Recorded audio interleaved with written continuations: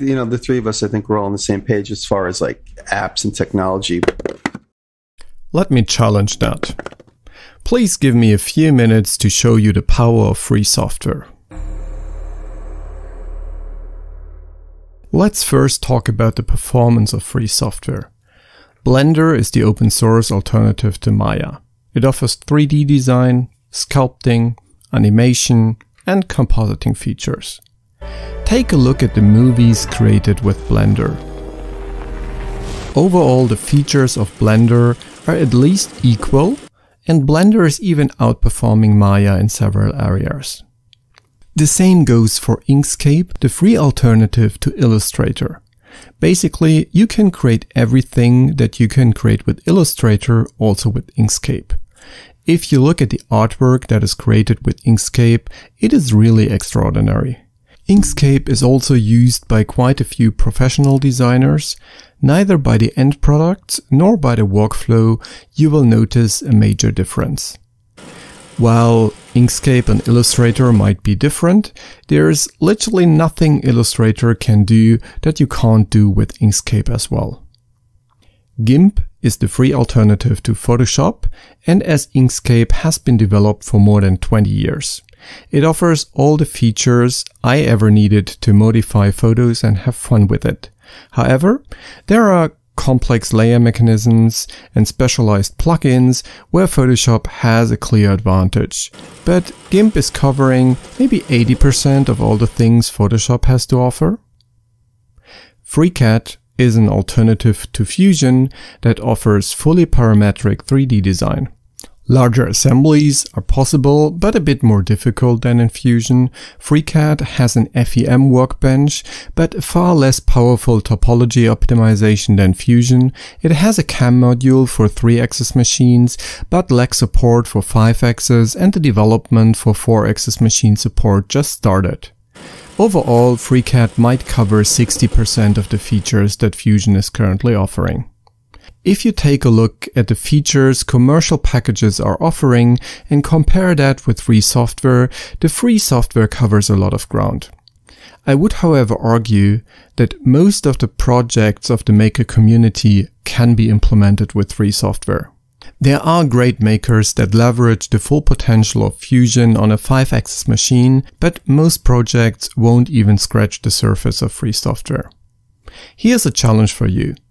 Let me know if there's something that you think is not possible with free software, and I will try my best to prove you wrong. But now let's talk about some of the strength and unique features of free software.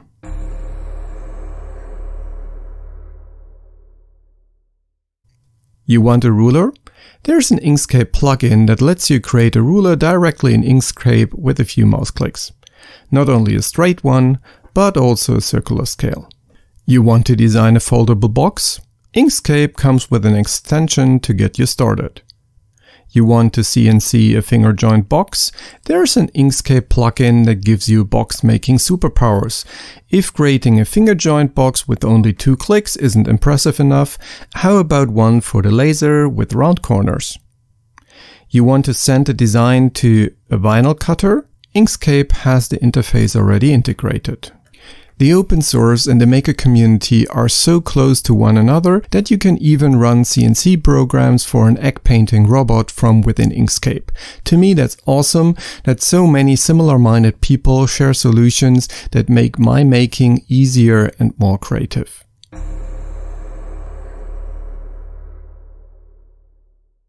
Oh, Illustrator is $20 a month. You're right. That's only 20 bucks a month. This would only correspond to a spool of filament.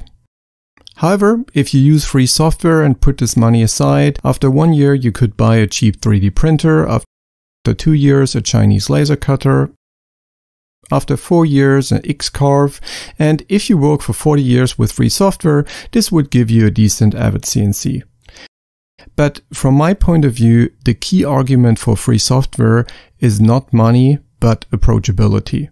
Illustrator, for example, is not only expensive in its subscription, but also regarding the required hardware.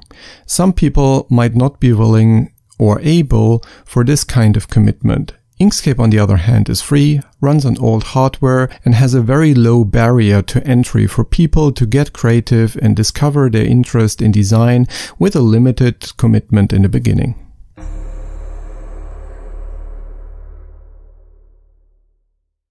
Last but not least, developers of software are also makers.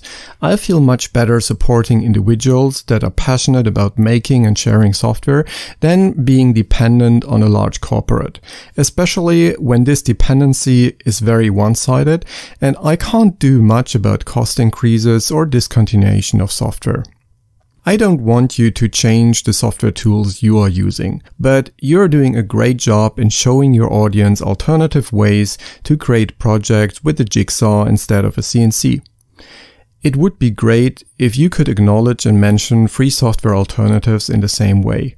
Not only your viewers would benefit, but also developers would get some well-deserved recognition for their work. Thanks for watching and in case you want to learn more about free CAD software, I have a dedicated video on that topic and I will link to some more comparisons between free and commercial software in the video description.